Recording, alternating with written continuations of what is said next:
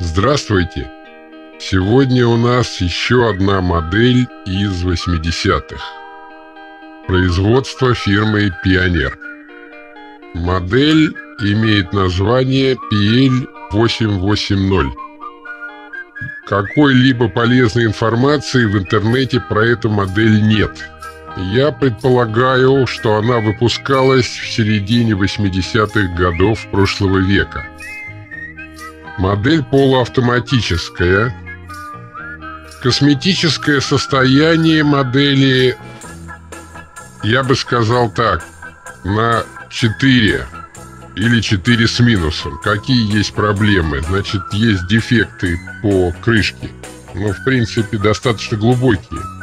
Теоретически можно все это заполировать, но это не самое главное. И второе, э, значит, вот тут уже дефекты наклеек с индикаторами от времени уже от клея стало проступать через серебряную краску черная, то есть краска постепенно разрушается. Но для меня это не самое важное, поскольку для меня важно, чтобы этот агрегат работал так, как ему положено.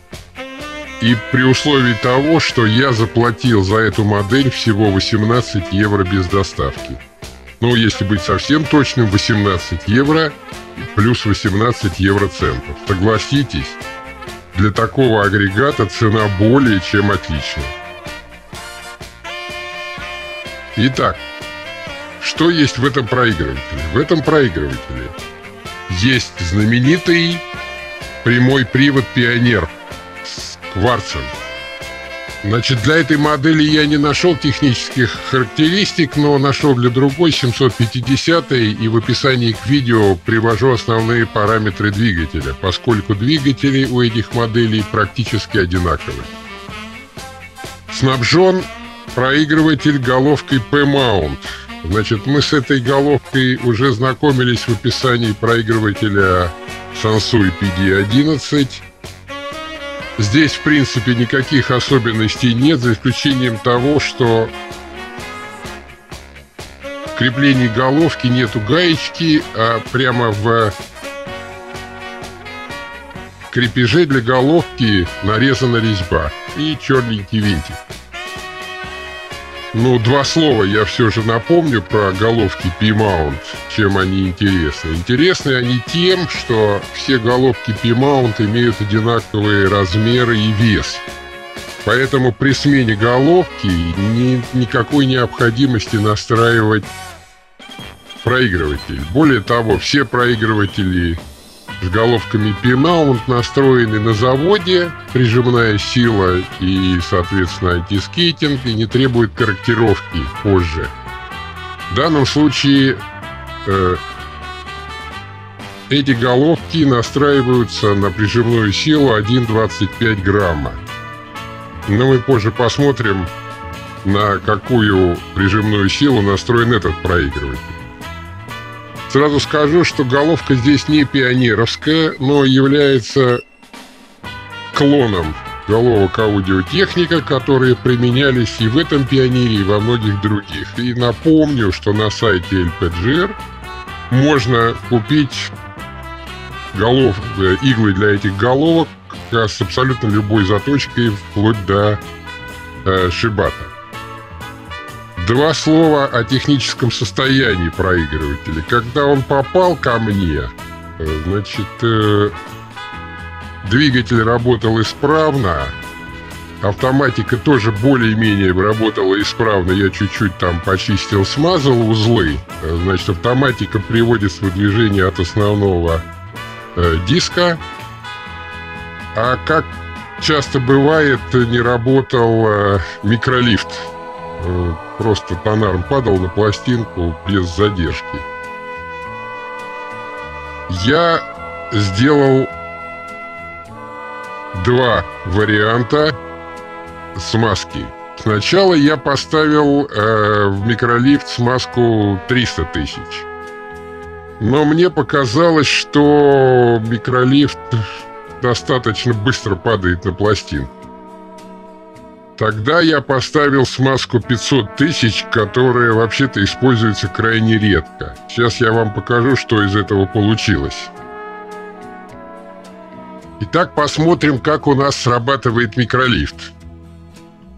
Значит, опускание микролифта происходит вот с такой скоростью. Я люблю, когда они опускаются достаточно медленно.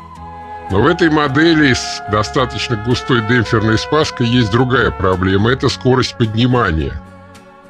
Поскольку поднимание микролифта осуществляется через пружинку, а не напрямую через рычаг, то, естественно, при густой смазке и резко упала скорость подъема микролифта. Вот смотрите, видите, как это происходит? Вот я нажму кнопочку «Опустить». Вот он упадает так.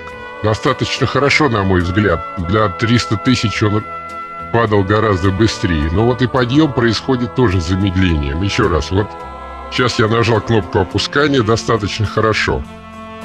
Теперь я нажимаю кнопку подъема. Вот, видите, с задержкой с небольшой поднимается, и в конце есть небольшая задержка. В принципе, микролифт Пионера на подъем работает не напрямую через рычаг, а через подпружиненный рычаг.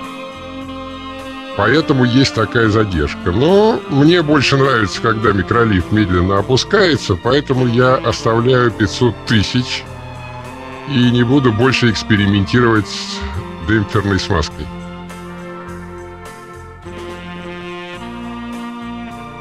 Но, как обычно, про грамм-пластинку, которую я буду использовать для демонстрации, пока мы используем всю ту же грамм-пластинку, которую я использовал в предыдущих демонстрациях, Напомню, что грамм-пластинка была выпущена в 1967 году, и в соответствии с законодательством Российской Федерации все фонограммы на этой грамм-пластинке находятся в общественном достоянии на территории Российской Федерации. А значит, мы не нарушаем ничьих авторских прав. Проигрыватель не имеет э, кнопки включения питания. Большинство поздних проигрывателей этого не имеют, поскольку э, э, питание включается автоматически, когда мы начинаем двигать тонар. Напомню, что проигрыватель полуавтоматический. Это значит, что мы сами вручную устанавливаем тонар на пластинку, а автостоп возвращает тонар на исходную стойку. Мы это сейчас все увидим. Ну и, как обычно, в полуавтоматах нету функции повтора.